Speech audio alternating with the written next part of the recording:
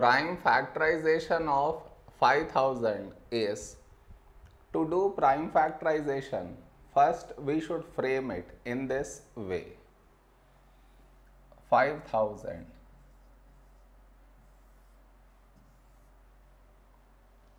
this is your step 1 next. In this number last digit is 0 so take 5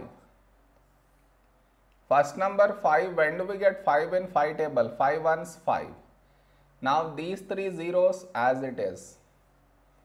Now last digit 0 so take 5 First number 1 smaller than 5 so two numbers 10 when do we get 10 in 5 table? 5 2's 10 these two zeros as it is.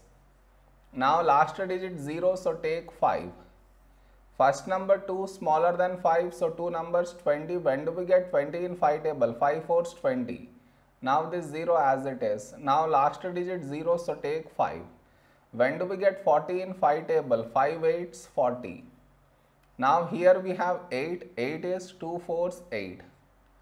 Now we have 4, 4 is 2 2's 4.